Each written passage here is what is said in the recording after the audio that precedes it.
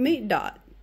This is Onyx's first toy that she got from the veterinarian's office when we got her.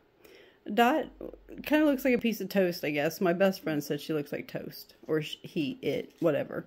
Um, we didn't know what it looked like, so we started calling it Dot. And um, Dot had holes like here, and you can see back here there was a bunch of holes.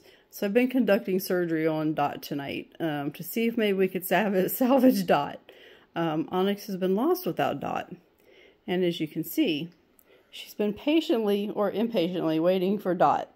She's staring at Dot, as you can see.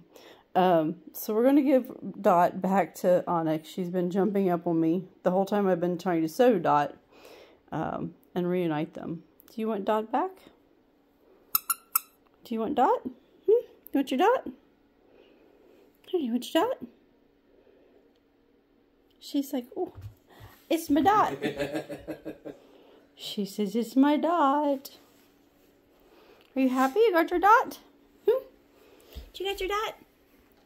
Onyx, you got your dot? You got your dot? Hmm? You got your dot? she says, I got my dot. I'm happy now. I got my dot. She, we got a donut replacement, but it's just not the same. It's not dot.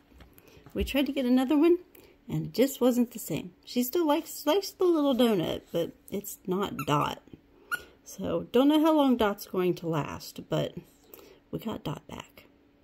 We also have done some surgery on the purple dinosaur. The dinosaur has had some surgery done to it too, um, on its leg. So we're going to see how long the purple dinosaur lasts too, because she liked the dinosaur too. Oh, but, but, but Dot.